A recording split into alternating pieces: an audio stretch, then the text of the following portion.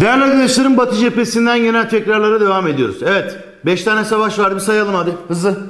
Birinci İnönü, ikinci İnönü, Eski Kütahya, Sakarya ve Başkomutanlık. Doğru mu? Tabi başkomutanlığın diğer adları var. Oraya gelince işleyeceğim. Birinci İnönü Savaşı. Düzenli ordunun Türkiye Büyük Millet Batı cephesinde kazanmış olduğu ilk zaferdir. Eskişehir'in İnönü mevkisinde Metristepe'de yapılmıştır. Tabi savaşın kazanılması özellikle İzzettin Paşa'nın ve İsmet Paşa'nın yani İsmet İnönü'nün büyük gayretleri var. Birinci İnönü Savaşı bir savunma savaşıdır bu arada arkadaşlar. Ha şunu da söyleyeyim. Beş tane savaş var ya. İlk dördü savunma. Yani bir savunma yaptık. Sonuncu yaptığımız savaşın adı zaten Büyük Taarruz. Yani bir kere yaptık taarruz. Bir kere de sildik. Süpürdük. Şimdi birinci Yunan zaferinde Yunanlar bize saldırdı. Biz savaş kazandık. Tamam buraya kadar her şey güzel. Ama bu zaferin bir önemi var. Dedim ya kıvılcım lazımdı. Bir, Türkiye Büyük Millet Meclisi'nin kazanmış olduğu ilk zaferdir. Doğru mu?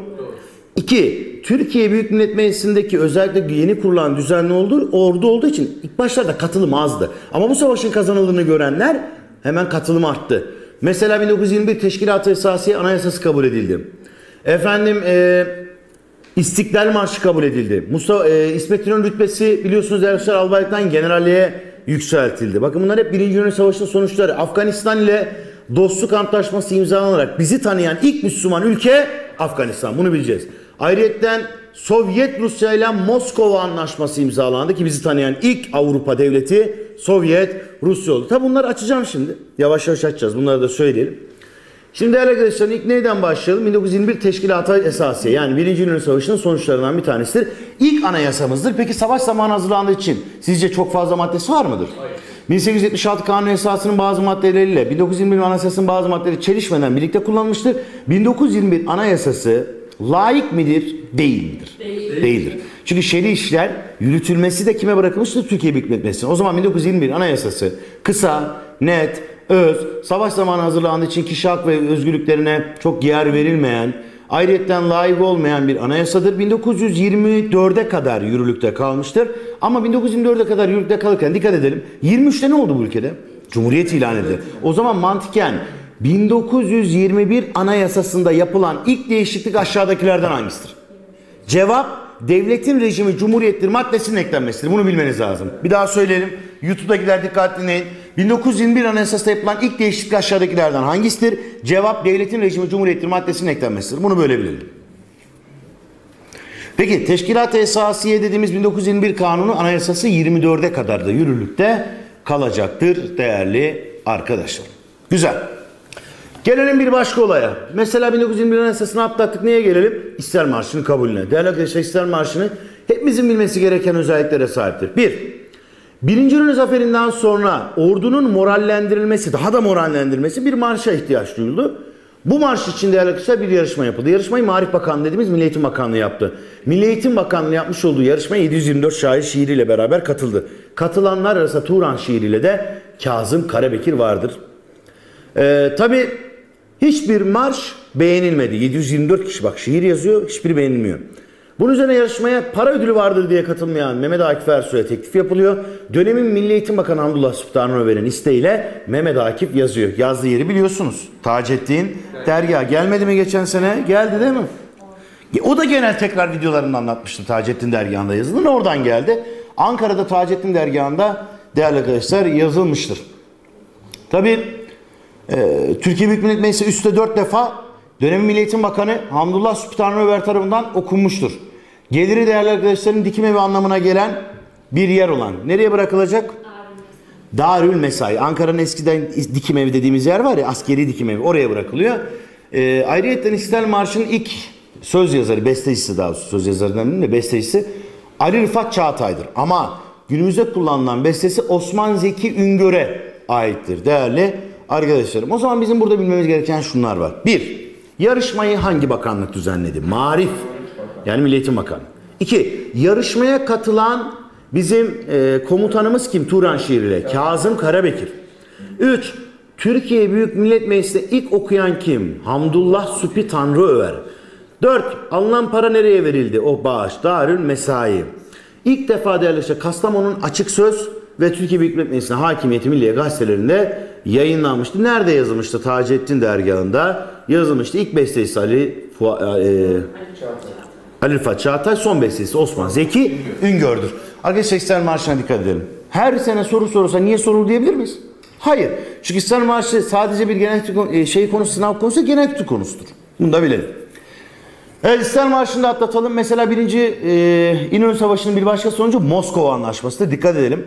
Arkadaşlar Moskova Anlaşması bayağıdan beri gelmiyor bak haberiniz olsun. Moskova Anlaşması çünkü önemli kılan bir şey var. Evet bizi ilk tanıyan Avrupa ülkesi Sovyet Rusya. Tamam güzel de Sovyet Rusya'nın tanımasından ziyade anlaşma içindeki geçen bir madde var ki Batum'un Batum'un Sovyet Rusya'nın yapacağı yardımlar karşılığında kime mi?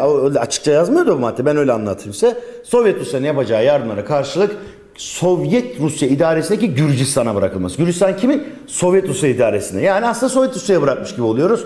Dikkat! Misak-ı Milli'den verilen ilk taviz Batum. Hangi anlaşma? Moskova. Bunu bilelim.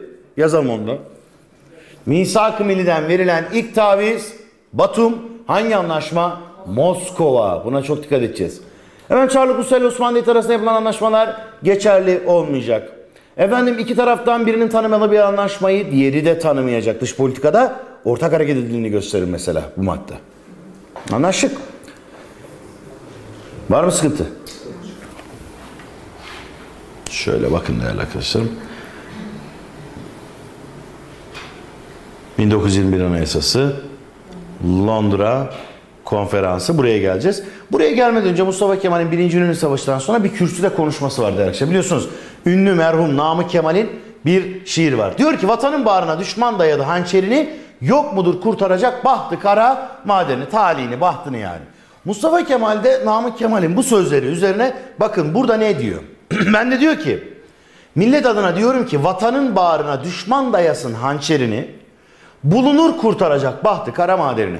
Bunu değiştiriyor yani Mustafa Kemal. Hangi savaştan sonra? Birinci, birinci İnönü'den sonra. Tamam. O zaman bizim birinci İnönü'yle ilgili şunları bilmemiz lazım. Bir, Eskişehir ilçesinin, Eskişehir'in bir ilçesidir. İki, mevzisi Metris Tepe'dir. Üç, komutanı İsmet İnönü ve İzzettin Bey'dir. Devam edelim. Birinci İnönü Savaşı düzenli ordunun, TBMM'nin kurduğu düzenli ordunun ilk zaferidir. Tamam. Bunları da bilelim kıymetli dostlar. Bak şu lafı sorarlar. Derler ki bunu Mustafa Kemal hangi savaşın ardından söyledi? Birinci İnönü Zaferi. 1921 Anayasası Londra konferansına girelim. Şimdi hazır mıyız? Biz birinci İnönü Zaferi'ni kazanınca ne olmuş olabilir sizce? İtilaf Devletleri Sevr Anlaşması'nda birazcık daha yumuşatarak Türk tarafına kabul ettirmek amacıyla hem savaşı kazanan Türkiye Büyük Millet Meclisi'ni hem de Osmanlı Devleti'ni birlikte davet ettiler. Normalde öyle davet etmemişlerdi. Mustafa Kemal itiraz etti. Ne demişlerdi biliyor musunuz? TBMM'nin içindeki bir heyet Osmanlı heyetinin içine girecek demişlerdi. Mustafa Kemal bunu kabul etmedi. Bunun üzerine İtalya'nın, buraya dikkat, Londra konferansına TBMM'yi davet eden ülkeyi bilmek zorundasınız. İtalya. İtalya'nın üzerine, teklifi üzerine biz gittik. Arkadaşlar şimdi bize soru. Biz oraya gittiğimiz zaman sizce orada bize sevdi dayatacaklarını bilmiyor muyduk? Biliyorduk. Peki Osmanlı Devleti adına katılan Tevfik Paşa son sadrazam. Bizim adımıza katılan Bekir Sami Bey yani Dışişleri Bakanımız. Arkadaşlar güya bizlerin kavga etmesini beklediler. Hani o ikili sıkıntılarımız var ya. Ama öyle olmadı. Son sadrazam Tevfik Paşa kalktı. Dedi kardeşim bu milletin gerçek temsili hani hakiki temsilcisi tebemmedir dedi. Temme temsilcisidir dedi. Böylelikle onların hani bunlar kendi aralarında e, sıkıntıları artar diye düşünmüştü, düşündükleri olay gerçekleşmedi. Tevfik Paşa'ya dikkat. Bir daha söyleyelim. Sözü Bekir Sami Bey'e bırakan Osmanlı delegesi kim? Bak dikkat edelim. Tevfik Paşa. Osmanlı delegesi kim? Tevfik Paşa. Buraya katılan Hariciye Nazır dediğimiz Dışişleri Bakanımız kim? Bizim adımıza gönderilen Bekir Sami. Niye Bekir Sami'nin üzerine duruyorum? Anlatayım olayı. Bekir Sami Bey Londra konferansından sonra ikili anlaşmalar yaptı. İngiltere ile Fransa ile şunlarla. Ancak bu ikili anlaşmaların her biri Türkiye Büyük Meclisi onayından geçmek zorunda ya. Onayından geçmedi. Çünkü bağımsızlığımıza aykırı kararlar vardı. Bu anlaşmayı Mustafa Kemal haber vermeden yaptığı ve TBMM adına imzaladığından dolayı Bekir Sami Bey görevinden alınmıştır. Yerine Yusuf Kemal Tengir Şenk getirilmiştir. Bu arada şunu söyleyeyim. Biz bile bile niye gittik? Evet YouTube'dakiler. Niye gittik biz Londra konferansına? Bekir Sami niye gönderdik?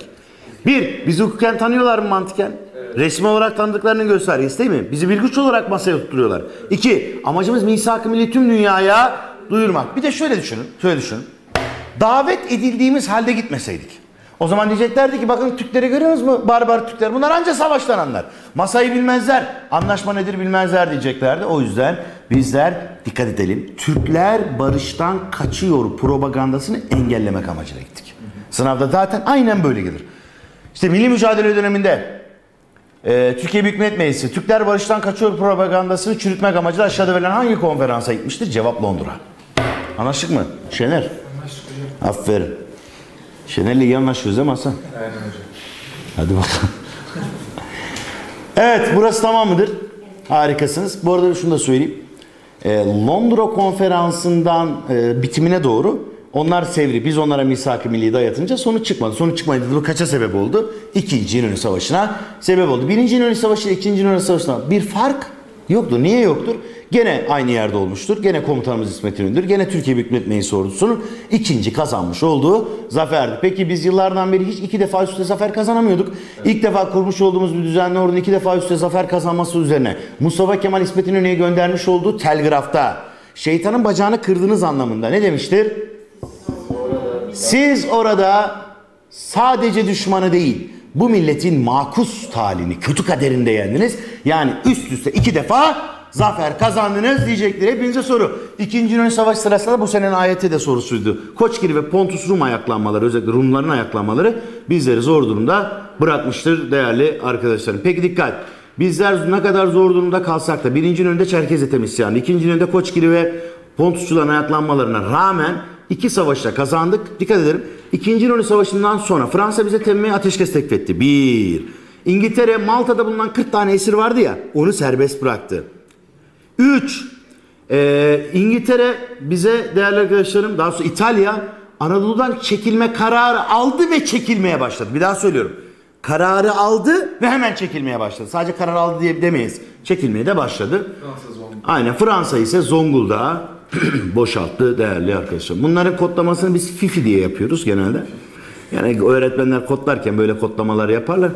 Baş harflerine bak bakın FIFI değil mi? FIFI diye kodla. İkinci Yunan Savaşı'nın sonuçları bunlardır. İkinci Yunan Savaşı ile ilgili gelen sınav sorularına baktığımız zaman Arkadaşlar özellikle Mustafa Kemal'in savaş sonunda söylediği makus talih ile ilgili sözü sorarlar. Bunu hangi savaşın ardına söylediğini sorarlar. Cevabın ikinci İnönü olduğunu lütfen unutmayalım. Oldu mu? Çok iyi. Peki biri kazandık. ikiyi kazandık. E, İngilizlerin Yunanlara karşı iyice e, bunlar kesinlikle başaramayacak inancı oldu. İngiltere Yunanistan dedi ki yardımı keserim sana. Yani senin amacın Eskişehir ve Ankara'yı alarak milli mücadeleyi sona erdirmek. Bunun üzerine de şey, Yunanistan'da seferberlik ilan edildi. 15 yaşındaki çocuklar daha yeni asker alındı ve Anadolu'ya getirildi. Dikkat. Ve Anadolu'da tabii ki yapılacak ve yenildiğimiz tek savaş olan Eskişehir Kütahya Muharebeleri başlamıştır. Eskişehir'i, Kütahya'yı, Afyon'u ve Bilecik'i kaybettik arkadaşlarım. Ve o ordu e, Ankara'nın Polatlı'ya kadar geldi. Biliyorsunuz Polatlı. Polatlı'ya kadar gelmiştir. Yani oradaki top sesleri neredeyse Ankara'dan duyulacak hale geliyor. E tabi bu müthiş bir olay. Bu esnada da Mustafa Kemal biliyorsun meclis başkanı komutan İsmet İnönü Mustafa Kemal orduya geri çekilme emri veriyor. Ama nereye? Sakarya nehrinin doğusuna.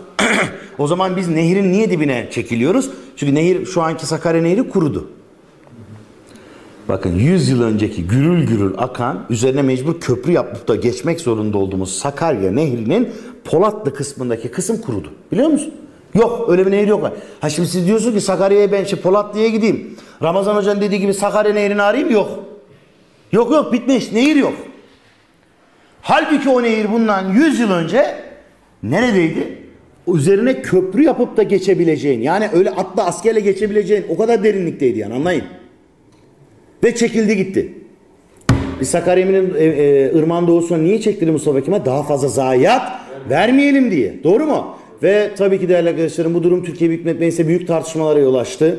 İsmet İnönü'nün güvene kal yani İsmet İnönü'ye güven kalmadı. Artı bir de Mustafa Kemal hem orduya geri çekilme emri vermesi hem de savaş devam ederken Ankara'da öğretmenlerle buluşup marif kongresi yapması insanlara ne yaptı değerli arkadaşlarım? Mustafa Kemal'e karşı bir tepki oluşmasını sağladı. Bir kere daha söyleyeyim. Sınava girdin. Eskişehir Kütahya muharebeleri devam ederken toplanan kongre aşağıdakilerden hangisidir? Birinci Marif Kongresi. Aman gözünü seveyim. Bak soruya dikkat. Birinci Marif Kongresi her aman her sınavda her zaman çıkar. Her sınav için favori sınav sorularından biridir. Yazılı, sözlü, mülakat hepsinde sorulan sorudur. Birinci Marif Kongresi YouTube'daki arkadaşlar da dikkat dinlesinler. Sorun gelebileceğini asla unutmasınlar. Burada bir şey daha söylemek lazım. Mustafa Kemal bu kadar eleştiriler olunca ne yapmak zorunda kaldık? Çıktı kürsüye. Meclis Başkanı sıfatıyla. Dedi ki bana o zaman bir kanunla komutan yapın beni. Ordunun başına geçin. Bazıları karşı çıktı. Bazıları destek verdi. Sonra karşı çıkanlar da destek verdi. Sebebi dediler ki bir sorumluluk olursa zaten Mustafa Kemal'i suçlar onu indiririz dediler. Sevenler onu başaracağını, sevmeyenler sorumluluğunda olacağını düşünerek Mustafa Kemal'e 3 aylığına başkomutanlık etkisi verdi. Mustafa Kemal hemen Polatlı'ya girdi orduyu denetledi. Ordunun birisinde dediğim gibi çarık var diğerinde yok. Birinde şey var yani mesela yiyecek var diğer bölükte yok. Bunları bir düzene sokabilmek amacıyla Türk milletinden bir yardım talebinde bulundu. Bu yardımın adı tekalifi milliye emirleridir değerli arkadaşlar. Tekalif milli emirleri milli yükümlülükler anlamına gelen bir kelimedir. Bu kelime çok çok kıymetlidir. Sınava girdin. Tekalifi milli emirleri aşağıda verilen hangi savaşın sonunda çıkarılmıştır? Eskişehir Kütahya ya da soruyu değiştirdim. Hangi savaşın öncesinde çıkarılmıştır? Say parmağı. Hangisine geliyor? Sakarya'nın. Sakarya Meydan Muharebesi öncesinden Mustafa Kemal başkomutan olmuştur.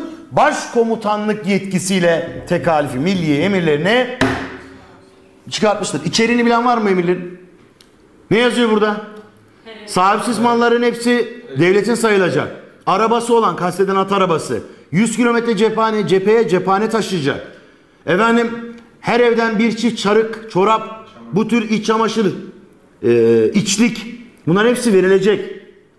Efendim hayvanı olanlar yüzde kırkını devlete verecek, parası olanlar yüzde kırkını ama bunların hepsi geri ödenmek şartıyla. Tamam? Peki hepinize soru. Tekalif milli emirlerini yayınlandıktan sonra burasının hep biz geçerli değil mi? Ankaralı da geçerli, Karslı da geçerli, Hakkari için de geçerli. Fark eden bir şey yok. Şimdi mantıkla düşünelim bakalım. Bu tekalif milli emirlerinden gelen yardımlar Hakkari'den Ankara'ya mı ulaşması daha kolaydır, Kırıkkale'den Ankara'ya mı? Kırıkkale. O zaman mantık düşünelim. Bu emirler yayınlandıktan 15 gün sonra Sakarya Meydan Muharebesi çıktığına göre Hakkari'den, Kars'tan, Iğdır'dan, Erzurum'dan veya bu taraftan Muğla'dan, Denizli'den gelen yardımlar Ankara'ya ulaşmış mıdır? o zaman bu yardımlar Sakarya Meydan Muharebesi değil de hangi savaşta bizim işimize yarayacak? En son kalan savaş. Yani Büyük Taarruz'da. O zaman dikkat. Tekalif Milli Emirlerinden gelen yardımlar iki savaşta kullandık. Biri Sakarya, diğeri Büyük Taarruz. Sakın bunu unutmayın. Bir daha söyleyelim. Tekalif Milli Emirlerinden gelen yardımlar iki savaşta kullanılmıştır. Biri Sakarya çok azı, büyük çoğunluğu ise adı üzerine Büyük Taarruz'da kullanıldı. Peki hepinize soru. Tekalif milliye emirlerine göre hepimiz bunlara şartlarımız tuttuğu halde vermek zorunda mıyız? Vermeyen olmuş mudur? Olmuştur. Olmuş mudur hocam sence? Türk milletin içinden bir kişi dahi vermemiş, vermemezlik yapmamıştır. Ama içimizde sadece bizler yaşamıyoruz. Ermeni var, Rum var, Yahudi var. Vermeyen istemeyenler de olacaktır elbet yani. Mustafa Kemal ne dedi? Olup da vermeyen dedi. Ne demek bu? Hatırla liselerde çok yapardık. Arkadaşımla uç isterdik vermezdi. Olup da vermeyen derdi. E şimdi olup da vermeyen istiklal mahkemelerinde hıyaneti vatan eden yani öyle basit bir kanun değil bu. Basit bir kanun değil. Haberiniz olsun. Tamam. Var mı sıkıntısı olan? Çok güzel. Peki Mustafa Kemal tekrar milli emirlerini yayınladı ama 15 gün sonra Sakarya Meydan Muharebesi çıktığından dolayı Sakarya Meydan Muharebesi artık öğrendik Sakarya ilinde olmadığını, Sakarya Irmağı'nın dibinde Polatlı'da, Duatepe'de, Bastikale mevzilerinde olduğunu bilelim. 22 gün 22 gece süren bu savaş değerli arkadaşlarım Mustafa Kemal'in tabiriyle iki savaş, iki savaş anlamına gelir. Biri subaylar savaşı, çok fazla subay katı çok fazla. Subay şehit olduğu için subaylar savaştı. Dikkat bir soruya. Subaylar Savaşı hangi savaştı? Sakarya Meydan Muharebesi. Ya da Mustafa Kemal'in ben ömrümde gördüğüm en büyük melhame-i kübraydı. Ne demek? En büyük kıyımdı. Gördüğüm. Ne diyor? Kastettiği Sakarya. Çünkü Sakarya Meydan Muharebesi'nin yapılmış olduğu o Dua Tepe'nin olduğu mevzilerde Mustafa Kemal dürbünle çok geniş bir ovaya bakabildiği için ölülerin hepsini dürbünle görebilmiştir. Tamam.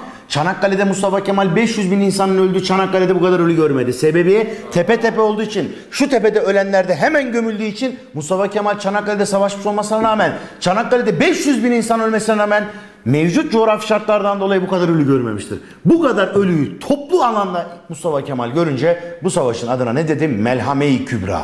Ne demek? Büyük kıyım. Direkt sınavda çıkar. Direkt sınavda çıkar inşallah tabii ki. Ben olsam sorarım. Ben olsaydım sorarım. Melhame-i Kübra. Tabi Melhame-i Kübra dediğimiz bu e, olaydan sonra bir şey daha anlatayım size. Sakarya Meydan Muharebesi değerli arkadaşlar birçok sonucu vardı. Mustafa Kemal mesela bu savaş sonunda e, biliyorsunuz ki gazi ünvanı ile mareşal rütbesi alacaktır. Doğru mu? Lütfen ünvan ile rütbeye dikkat edin. En büyük askeri rütbe mareşalliktir. Üst üste ömründe 3 savaşı kaybetmeyen generallere verilen en büyük rütbedir mareşallik. Ve mareşallik rütbesine tarihimize iki kişi ulaşmıştır. Biri Mareşal Fevzi Çakmak, diğeri de Mareşal Mustafa Kemal Atatürk'ümüzdür değerli arkadaşlar. Var mı sıkıntısı olan? Peki Sakarya Meydan Muharebesi'nden sonra Mustafa Kemal'e Gazi Ünvanlı Mareşal rütbesi verildi. Bir. Son savuş, savunma savaşımızı yaptık. İki. Mustafa Kemal bu savaş sırasında çok büyük bir emir verdi. Bir emir ki o emir çok kıymetli. Emir şu arkadaşlarım. E, hattı müdafaa yoktur, satı müdafaa vardı. Yani şu, şu hat bizim ya. Karşıda Yunan var. Yunan saldırdı. Hattımız bozuldu. Tak geriye. Bozuldu. Tak geriye. Ama o düzen bozulmayacak diyor. Elbet bunlar bir yerde duracak. İşte biz onu durdurduk. Durdurduğumuz yere Eskişehir'e hızlı trenle giderken veya Polatlı'dan Eskişehir tarafına ve Eskişehir'den Ankara'ya doğru gelirken görürsün. Bir dağın tepesinde bir heykel var. Mehmetçik heykeli. Mehmetçik heykelinin bu şekilde de neyi vardır değerli arkadaşlar? Dur. Bu dur niye dur? Yunanlıları durdurduğumuz yer de o yüzden. Oraya geçerken karşı tarafa bakın bakın Dua Tepe yazar. Bassikale mevzileri yazar. Mustafa Kemal'in dürbünle gözlediği yere bir gidin. Oradan ovaya bir bakın. O zaman işte tarih bilinciniz gelişir. Mustafa Kemal'i lütfen kendi yerinize koyun orada. Tamam? Oradaki subaylarımızı, erlerimizi, şehit olanları o zaman anlarsınız tarih bilincini. Sakarya Meydan Muharebesi Tarihi Milli Parkı yapılıyor oraya. Çalışmalar da devam ediyor. İnşallah bitirilecek. Gezmeye müzesi açılacak orada. Kocaman bir müze yapılıyor. Bunlar çok önemli şeyler arkadaşlar. Bizim bunları unutmamamız lazım. Biz Polatlı'da durdurduk mu onları? Durdurduk. Ama durdurmak demek düşman yok oldu demek midir? Hayır. Düşman gene Sakarya Irmağı'nın batısında. Biz gene doğusunda. O zaman bu düşman atmak için de ne yapmamız lazım? Büyük bir taarruz yapacağız. Ancak taarruz yapmadan önce çok güzel olaylar oldu. Mesela Fransa ile Ankara Anlaşması yaptık. Dur. E Fransa ile sen Ankara Anlaşması yaparsan Güney cephen kapanır. Güneydeki savaş halin sona erer. Güneydeki birlikler batıya kayar. Bu çok önemli. İki, Fransa ile yapılan Ankara Anlaşması'nda bir madde var ki bu maddede misak-ı ikinci kez taviz verdiğimiz gösterir. Hatay Fransız mandasındaki Suriye'ye bırakılacak. Ne demek bu? O zaman misak-ı kaçıncı taviz? İki. Dört. Birinci nereydi? Batum hangi anlaşma? Moskova. Moskova. İkinci yer nere? Hatay. Hatay. Hangi anlaşma Ankara? Değerli arkadaşlar misak-ı ikinci taviz verdik ama Güney cephemiz kapandı orada. Onu da söyleyelim. Peki Ukrayna ile dostluk anlaşması imzaladık. İngiltere ile esir mübadelesi anlaşması imzaladık. Doğru mu? Ha, bunlar çok çok önemli. Sovyet Rusya'ya bağlı. Ermenistan, Azerbaycan, Gürcistan ile Kars Anlaşması'nı imzaladık. Böylelikle doğu sınırımızda kesin olarak çizilmiş oldu değerli arkadaşlar. Tamam. Genel itibariyle Sakarya Meydan Muharebesi'nin sonuçları bunlardır değerli arkadaşlarım. Şöyle de bakayım göstereyim size. Eskişehir Kütahya. Mustafa Kemal'in emri hattı müdafaa yoktu, satı müdafaa vardır.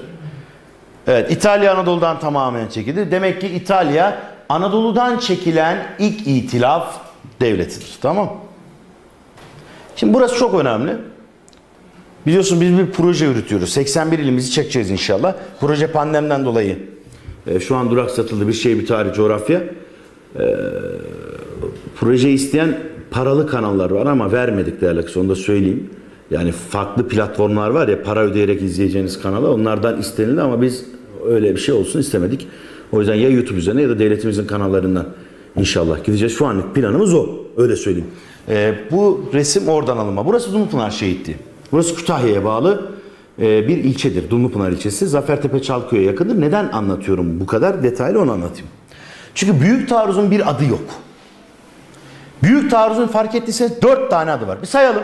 Bir büyük taarruz. Diğeri ne? Başkomutanlık meydan barış. Diğeri ne? Rum sındı. Diğeri ne? Dumlupınar meydan Bir de yurt kurtaran. Yani beş tane isimli. Sınavda soru gelmedi mi? Gelmedi mi? Diğer adı nedir diye sormadılar mı? Arkadaşlar gelir gelir.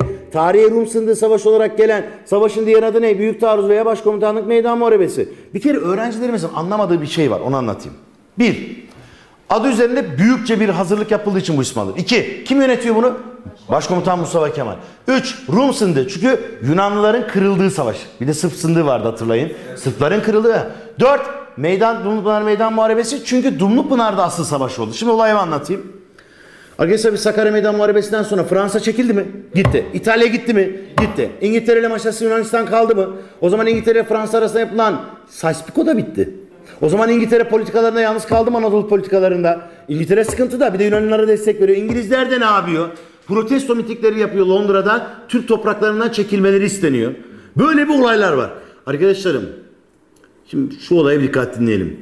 İngiltere Anadolu politikasına yalnız kaldı savaştan sonra. Tamam Artık Yunanlara falan da inancım inancı da kalmadı. Ama biz gene de Yunanlıların hani hiçbirimize zarar vermeden bir canlımıza, kuşumuzdan koyunumuza, insanımızdan hayvanımıza zarar vermemiz için biz 10 ay boyunca ne yaptık biliyor musunuz?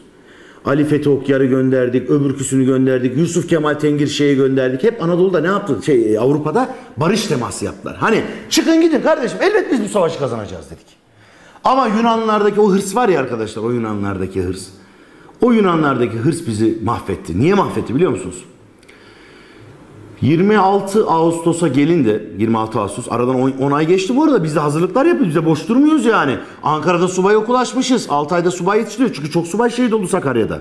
Efendim e, büyük taarruzdan hani gelmeyen illerden gelen vardı ya yardımlar. Onlar geldi. İyice güçlendirdik. Efendim Sovyet Rusya'dan yeni silahlar aldık. Yani biz de boş durmuyoruz yani. Ondan sonra orduya taarruz eğitimi verdik. Çünkü hep savunma yapıyorduk. Şimdi taarruz yapacağız. Hep duran adama sen şimdi koş dersen koşabilir mi? E biz askerlik yaptık. Sabahleyin 45 dakika koşuyorduk biz. Durana kadar. Bir düdük, tık bir düdük. O zamana kadar koşacaksın. Kolay değil, taarruz yapmak kolay değil. Hem nefesle mücadelem var hem de aynıyeten ağırlıkla mücadelem var. Şimdi bunlar kolay değil. Eskiden silahların daha ağır olduğunu unutmayın. Şimdiki silahlar daha hafif. E müthiş de bir Yunan işgali var. Şimdi Yunanlar işgal ettikleri yerleri sayalım. Kim Yunanlar nerede? Eskişehir'de, Afyon'da, Kütahya'da, Bilecik'te. Doğru mu hocam? Denizli'de, Balıkesir'de, hani işgal ettikleri genel çevreleri söylüyorum. İzmir'de, Aydın'da, Manisa'da, doğru mu? Ve Trakya'da, Edirne'de, Kırklareli'de, Tekirdağ. E bizim bunları ancak taarruzla yok edebiliriz. Ama biz dedik ki biraz barış görüşmeleri yapalım. Hiç sonuç çıkmadı arkadaşlar. Hiç. Bunun üzerine yapacak bir şey yok. Savaşmaktan başka çaremiz yok. Onların da bize savaşmak. Hatta onay bekledik ya Mustafa Kemal'e tekrar eleştiriler başladı. Mustafa Kemal tekrar kürsüye çıktı. Ve başkomutanlık süresi bitmişti. Ve tekrardan ne dedi? Bırakmayacağım dedi. Bırakmayacağım dedi. Ve bırakmayıp tekrardan başkomutanlık yetkisini süresiz aldı. Bu arada bir şey söyleyeyim. Mustafa Kemal çok ünlü bir lafı vardır. Yarım tedbirlerle, yarım hazırlıklarla yapılan taarruz hiç yapılmaktan daha iyidir dedi. Yani ne demek istiyor? Yani biz eğer 10 ay boyunca hazırlık yapmasak. Hani niye bu süre uzadı diyenlere diyor ki. Yani diyor yarım hazırlık mı yapsaydık? Tam, tam hazır olabilmem için mevcut zaman bu kadar olması lazım. Mustafa Kemal büyük taarruz öncesi çok önemli bir lafıdır. İşte yarım tedbirlerle, yarım hazırlıklarla yapılan taarruz hiç yapılmamasından daha iyidir. Gibi tarzında bir cümlesi var. Burada ne var? Özellikle Mustafa Kemal'in şunu demesini e, anlayın yani. Eğer biz yarım hazırlık yapıp da taarruz yaparsak bizi mahvederler. Yani bizim tam taarruz yapabilmemiz için biraz zamana ihtiyacımız var. Adam onu diyor. Ve Mustafa Kemal 21 Ağustos'tan 25 Ağustos'a kadar 2-3 defa Afyon'a gidip geldiğini biliyor musunuz? Gidiyor gizlice geri geliyor. Gidiyor geri geliyor. Gidiyor geliyor ama kimsenin haberi yok. Gece çıkıyor yola. Sabah birlikleri denetliyor geri geliyor. Sabah birlikleri denetleniyor geri geliyor. İnsanlara ne diyoruz biliyor musun? Yok Akşehir'de futbol turnuvası var. Bütün komutanlar oraya gelsin. Yok Çankaya'da çay partileri var. Yunanlara biz ne yapıyoruz Yunanlara devamlı? Yanlış gösteriyoruz. Mustafa Kemal'in devamlı çay partilerindeki fotoğrafları yayınlanıyor Çankaya'da. Mustafa Kemal nerede? Afyon'da. Anladınız mı? Bu iş böyledir. Bu iş böyle. Ve Mustafa Kemal en sonunda Afyon Kocatepe'den biliyorsunuz 26 Ağustos'ta başlattı. Peki 26 Ağustos'tan şurada şöyle dikkat dinleyin. Burası Afyon, burası Kütahya. Afyon'dan biz ilerledikçe Yunanlar ne tarafa doğru kaçtı? Kütahya'ya. İşte bu Kütahya'ya geldikleri zaman bir köye geldiler. Zafertepe Çalköy. Buranın ismi. Eskiden aslında Çalköy'dü yani bildiğiniz. Buranın genel adı ilçe açısından Dumlupınar. İşte asıl mücadele burada oldu arkadaşlar. Dumlupınar meydan muharebesi oldu bakın. Şehitliği görüyor musunuz? Şehitliğin resmidir o. İşte biz Zafertepe Çalköy'de yani Dumlupınar'da bu zaferi kazandık değerli arkadaşlarım. 30 Ağustos'ta kazandık. O yüzden biz aslında neyi kutluyoruz? Savaşın ilk başlangıç tarihi olan 26 Ağustos'u değil, 30 Ağustos kutlanıyor. Çünkü çevirdik onları, çembere aldık ve orada Rumları yok ettik işte. O yüzden zaten Rum sındı. Ve 30 Ağustos. Peki bitti mi? Yunan nereye kaçıyor Kütahya'dan? Uşağa, İzmir yoluna. Peki geçerken bütün köyleri ateşe veriyorlar mı? Biz yavaş ilerlemek zorunda çünkü köydeki yangını söndürmek zorundayız. Köydeki hayvanı kurtarmak, insanı kurtarmak zorundayız. Arkadaşlar yaktılar Uşak'la Manisa'yı. Yaktılar ki ne yaktılar? Manisa'da 8 bin ev yandı. Kaç tane ahır gitti? Kaç tane ma- malımız, mülkümüz, toprağımız harap oldu bunların yüzünden? Bakın gerçek gerçekten Manisa yangını, İzmir yangını. Ben böyle söylüyordum. Öğrenci arkadaşlarımız da sağ olsunlar hep araştırmışlar. Hep işte hani aşağı yazarlar ya YouTube yorumları Ramazan yetkinden gelenler tarzında. Biz bir şey deyince ne kadar ilgi gösterdiklerini oradan anlıyorum.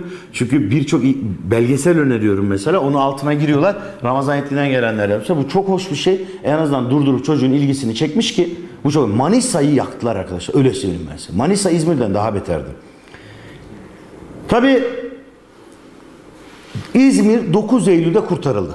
Bugün üniversitesinde tarihini verildiği at aslında bir kurtuluş mücadelesinin en büyük safhasının bitişidir. 9 Eylül'de İzmir kurtarıldı ama daha var. Bursalar var orada değil mi? Trakya duruyor, Boğazlar duruyor. Arkadaşlar tam biz Boğazlara doğru askerimiz yönelirken İngiltere araya girdi. Çünkü artık İngiltere sıcak savaş ve sıcak temasın yaşanma ihtimali doğdu. İngiltere hiç kendini, hiç İngiliz'in öldüğünü duydun mu sen? Niye hiç İngiliz ölmüyor Yunan ölüyor? Hiç İngiliz ölmez Ermeni ölür. Hiç İngiliz ölmez o ölür. Hiç İngiliz ölmez Amerikalı ölür. Dikkat düşünen de var ya çok büyük faydalar var. Tarih okumanın. Onlar üst akıldır çünkü İngiltere. Onlar ölmez. Onlar öldürtürür kendi adına bir de. Ve İngiltere ile bazen ben şunu diyorum. Hocam Anadolu'ya İngilizler gelmiş evet. E, İngilizlerle bizim hiç sıcak temasımız ve sıcak savaşımız yok. Doğru yok. Evet ama İngilizlerin bazı bölgelerinden kendi kendilerine çekildikleri, bazen Mustafa Kemal'le de anlaşıp çekildikleri de var. Bak onları da söyleyeyim. Yoksa biz tehdit ediyoruz orayı. Diyoruz ki biz alacağız. Senin müfreze birliğin yetmez. Geri çekittiriyoruz. Yani bak genelde şunu duyuyorum. Mustafa Kemal sanki İngilizlerle bir anlaşma yapmış da. Yani şey anlaşması. Ee, hani ricada bulunmuş. Şöyle o tam öyle değil arkadaşlar. Yani o mektupların son sayfa say- şeyini okursanız öyle gibi gözüküyor da öyle değil. Yani orada tehdit ediyoruz biz çıkmaları için. Veya ellerindeki esirleri serbest bırakmaları için gibi gibi. Birçok aslında tarihte anlatılmayan da yer var sizlere. E, geniş zamanda inşallah bunları da anlatacağım ama şöyle söyleyeyim. Dumlupınar meydan muharebesini yaptıktan sonra 9 Eylül'de biz İzmir'e girdik çıktık ve ondan sonra İngiltere ile sıcak temas olma ihtimali olunca da hemen bizi masaya davet ettiler. Biz de Bursa Mudanya'ya gittik. Bursa'nın bir ilçesi Mudanya ve Mudanya Ateşkes Antlaşması'na e, İsmet İnönü'yü gönderdik değerli arkadaşlar. Ve İsmet İnönü de burada oturdu masaya ve bir başarı kazandı. Bakın başarısına dikkat edebiliyor musun? Mudanya Ateşkes Antlaşması'nın maddelerine bakın. Bakın maddelerde şu der. Her iki tarafta da Türk-Yunan Savaşı sona erecek. Ve Yunanlar 15 gün içinde Trakya'yı boşaltacaklar. Doğru mu? Peki bize sor. Trakya dediğin yer neresi? Edirne, Kırklareli, Tekirdağ. Peki bunun üzerine dikkat. Buraları alma görevliliğini biz bir komutanımıza veriyoruz. İsmi Refet Bele. Elbet bir gün sorulacak. Trakya Yüksek Komiseri sıfatıyla.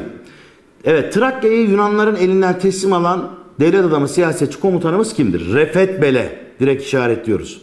Trakya Yüksek Komiseri kimdir? Refet Bele. Arkadaşlar Mudanya Ateşkes Antlaşması imzalanmasıyla beraber zaten artık savaş muharebeler dönemi tamamen sona ermiştir.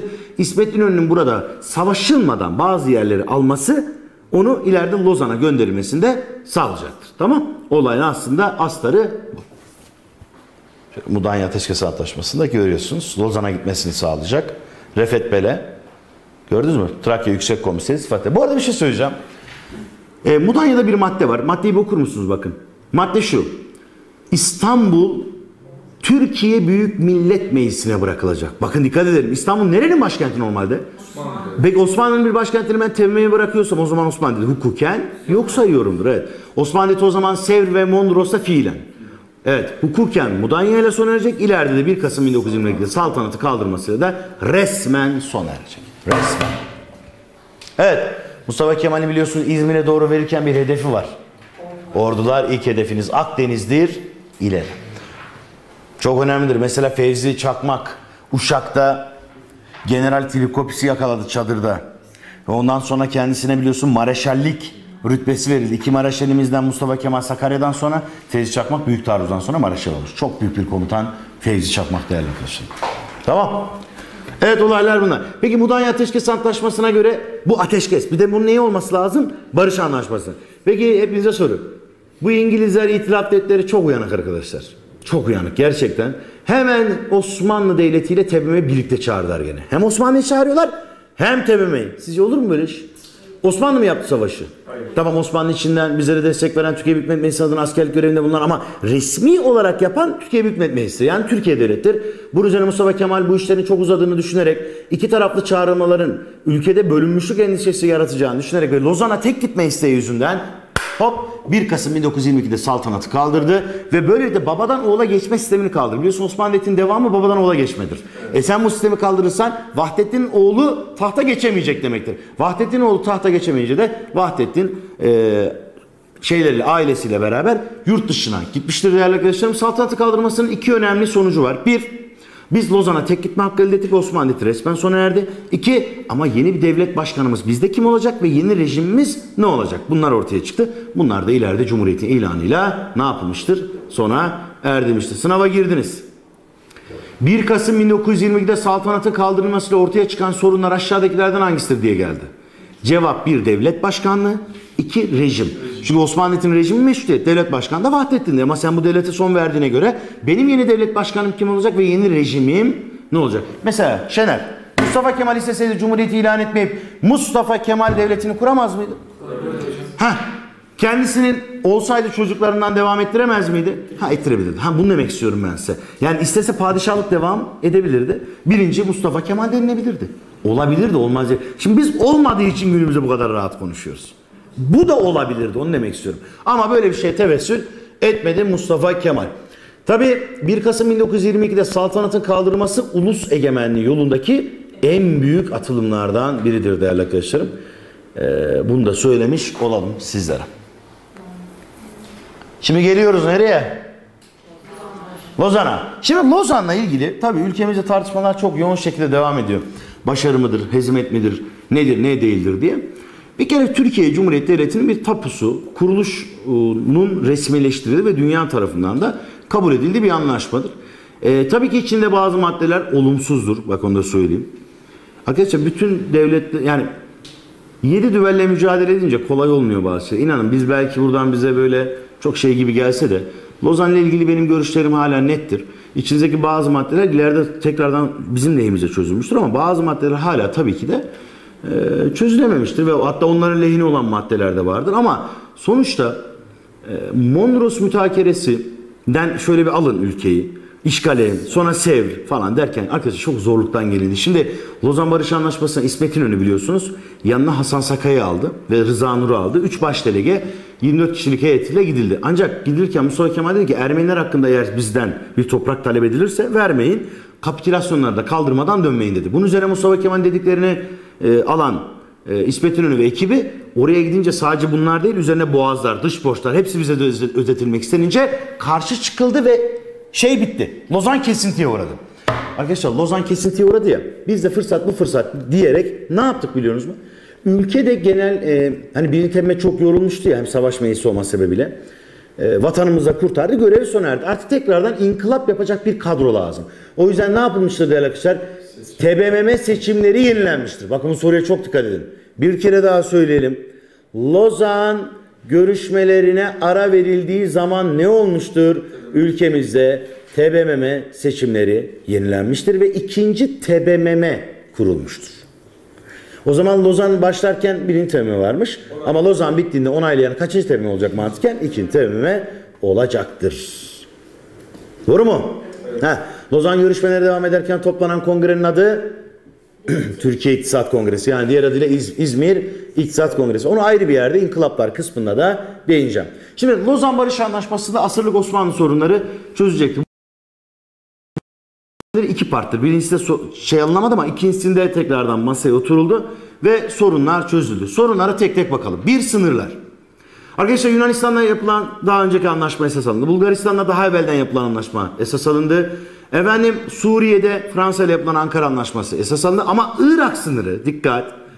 Yani Musul olayı özellikle. İngiltere sadece bizi ilgilendiren bir sorun olduğu için bu da uza yani görüşmelerin uzamasına sebep olacağından dolayı ne dedik? İngiltere sen de biz bu meseleyi Lozan'dan sonra çözelim. O zaman Lozan'da gündeme gelmesine rağmen çözümü sonraya bırakılan tek mesele nedir?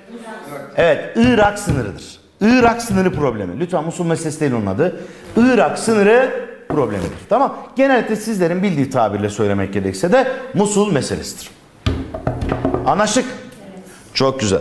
Peki sınırları geçelim. Mesela kapitülasyonlar. Ne oldu kapitülasyonlara? Kaldırılmadı mı? Kaldır. Düğün umumiyenin Türkiye'deki varlığına son verildi mesela.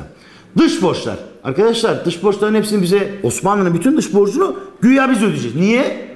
Lan Osmanlı dış borç aldığında Yunanistan bana bağlıydı sallıyorum. Osmanlı dış borç aldığında Cezayir bana bağlıydı. Fas Tunus bana bağlıydı. Ben Osmanlı devleti Bulgaristan bana bağlı. E kardeşim olur mu öyle şey dedik.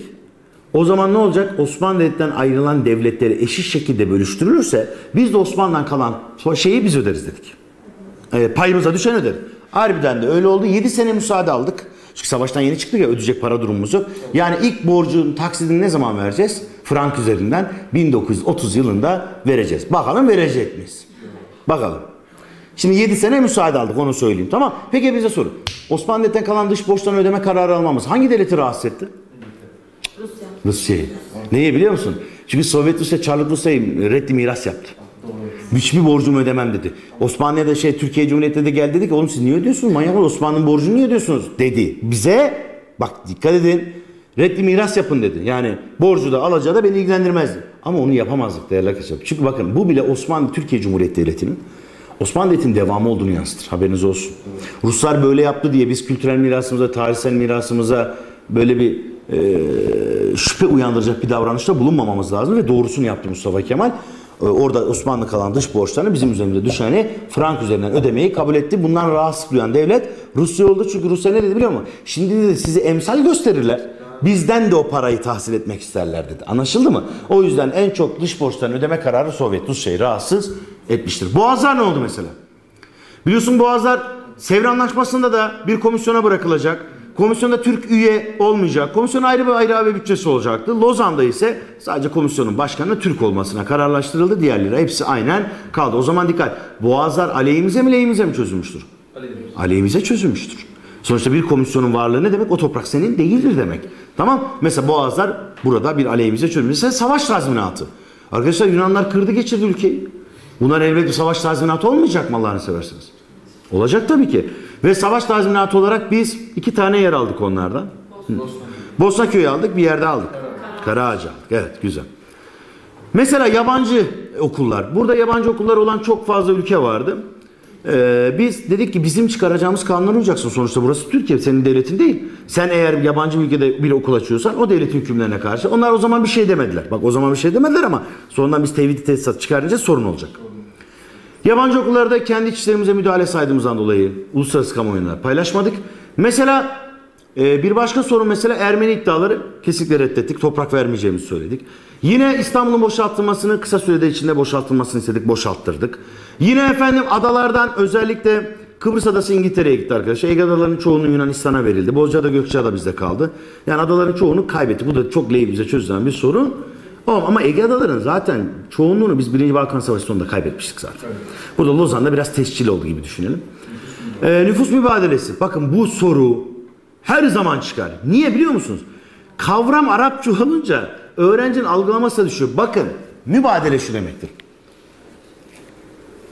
Hocam senle benim yer değiştirmem demektir. Sen orada kalmışsın. Yunan toprağında bir Türk. Ben Türkiye'de kalmışım. Türk topraklarında bir Rum. La ikimiz de savaşmışız. Peki onun hıncıyla ben seni sen beni öldüremez misin? Yani devletler kendi işlerinde yaşa. Ha, o yüzden diyoruz ki kardeşim yani iki taraf birbirlerini ne yapsın? Yer değiştir. Ama yer değiştirsin de e, İstanbul'da yaşayan Rumlar bir yıldan beri burada. Balkanlarda yaşayan Yunanistan'daki Dede Ağaç'ta orada Dimotoka'da şurada burada yaşayanlar 600 yıldır orada. Evi, bağı, bahçesi, akrabası, komşusu her şey orada. E nasıl sen bu adamları göç ettireceksin şimdi?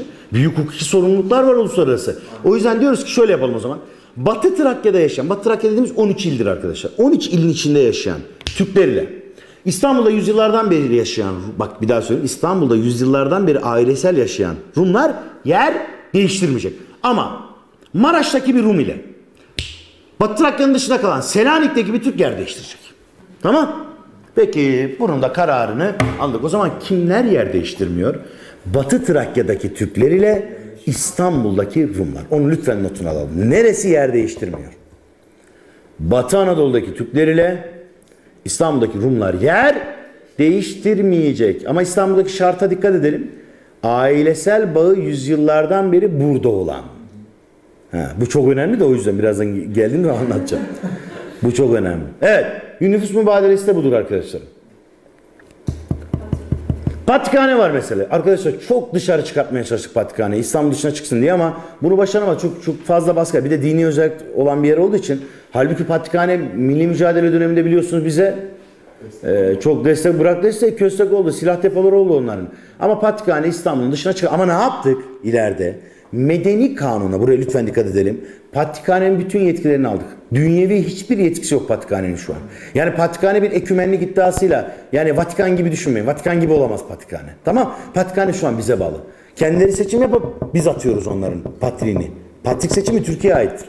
Bu çok önemli şey ha. Ekümenliğin ne olduğunu biliyor musunuz siz? Ekümenlik iddiasının. Vatikan olmak demektir. İtalya'nın içinde ayrı bir devlet gibi. Ha?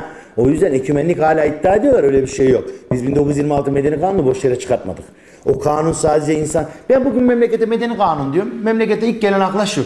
Hocam çocuğun işte velayet hakkı annesine verildi. Hocam işte kadınlara. Ya değil değil değil. Medeni kanun içine gizlenmiş çok madde var. Öyle keyfiyatına çıkan. Biz işte İsviçre'den aldık hala tartışılıyor. İsviçre'den niye aldık? Lan oğlum zaten bu tartışma yapılsın diye yapılmış ya. Onun içinde öyle kritik maddeler var ki. O kritik maddeler sayesinde o patikhane bugün ekümenlik iddia edemiyor ya. Siz öyle basit mi zannediyorsunuz bu işleri? Ekümenlik ne demek? O zaman orada adam devlet kurar. Sen Vatikan olmasını mı istiyorsun İstanbul'un? Medeni kanun çok kıymet ama öğrenciye öğretti, öğretilen medeni kanun genellikle hep anneye verilen haklar babında düşündürülüyor. Ben de bunun yanlış olduğunu söylüyorum. Asıl mesele burada patrikhanedir. Patrikhanenin bütün dünyevi yetkilerinden almıştır. Medeni kanun patrikhanenin mahkeme kurma yetkisi elinden alınmıştır. Bu çok kıymetli bir şeydir. Anlaştık mı?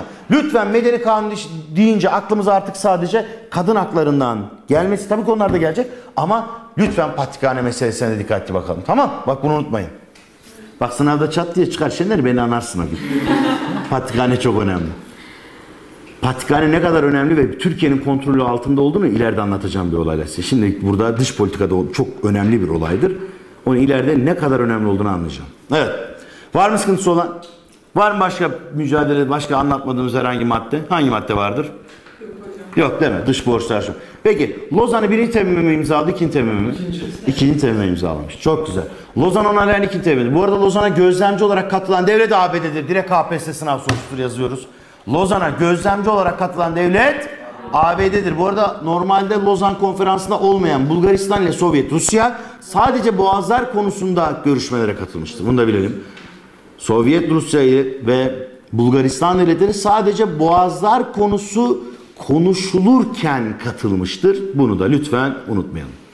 Sadece boğazlar konusu konuşulurken devletler katılmıştır. Evet. Lozan şöyle bakalım bir daha.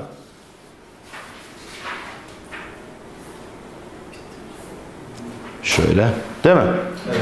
Çok çok güzel. Gayet iyi. Var mı sıkıntımız Lozan'la? Lozan'la ilgili bir soru gelse yapar mısınız? Katılan adamlar, gözlemci devlet, alınan kararların muhteviyatı. Tamam. Peki hepinize soru. Sınava girdim 3 tane şey verdiler size. Öncül. Genelde bu öncülleri yapamıyorsunuz. Ben biliyorum da. 1 2 3 deyince sanki bir şey olmuş gibi oluyor.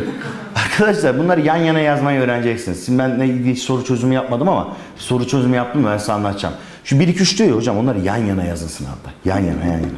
Tamam? Bir deneyin siz benim ne demek istediğimi. Sonra soru cümlesiyle birleştirin. Ondan sonra diyeceksiniz lan bu ne kadar rahat çözülüyormuş. Biz yıllardan beri niye bu öncülleri yapamıyoruz dersiniz. Tamam? Anlaştık mı? Evet.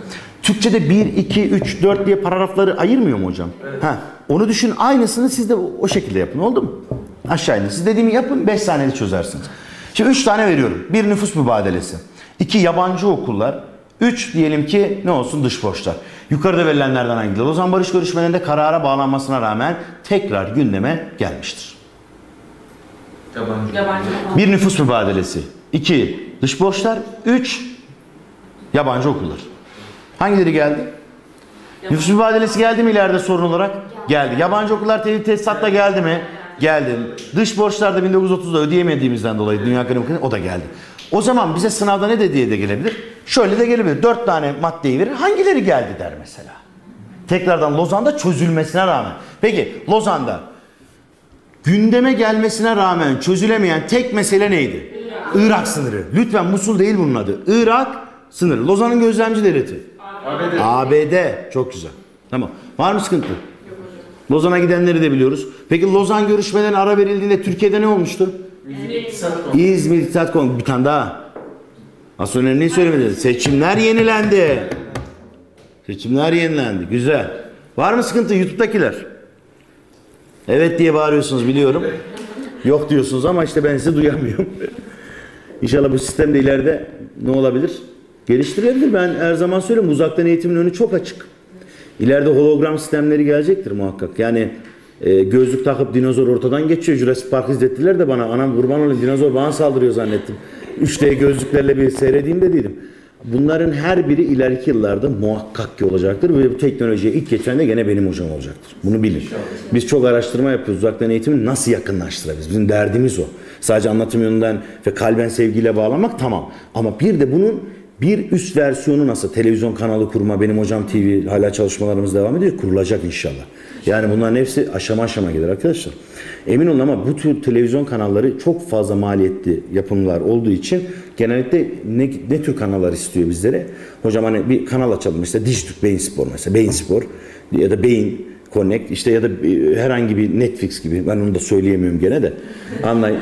Bu tür kanallarda mesela eğitim kanalları açısından adam kanal açabilir ama paralı olur arkadaşlar. Biz de paralı olmasını istemiyoruz. Yani benim hocam TV kurulacaksa gene ücretsiz olacak. Yani EBA TV'yi biliyorsunuz. Ne kadar güzel. Sadece orada öğretmen kalitesi arttırılmalı. Ben onu söylüyorum ve öğretmenler slayttan ders işlememe. Ama adamlara da hak veriyorum. Çünkü orada hayır, hayır hocam öğretmenler orada bu muhakkak ki bu mukavat e, şey e, orada söyledikleri sözler e, sıkıntı çıkartmaması amacıyla sadece bu metne bağlı kalıyorlar. Şimdi bizim öyle değil ki hocam. Biz orada ben sana şimdi takılıyorum. Orada bir kere öğrenci yok. Öğrencinin olmadığı yerde iletişim yok. Anlatabiliyor muyum? EBA TV'deki ben öğretmen anlayabiliyorum.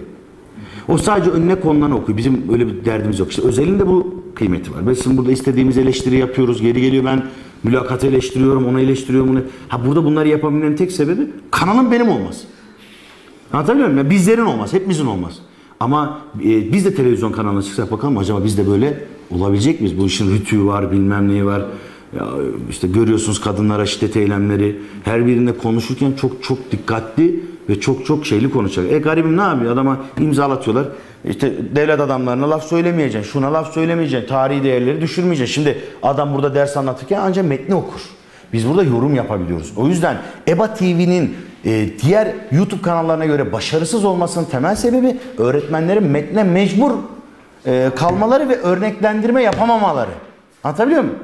Yani orada bir tane İngilizceci kadın öğretmenimiz çıkarttılar. Gayet de güzel bana göre anlattı. Çünkü minikleri anlatımı öyle olur. Millet dalga geçti yani.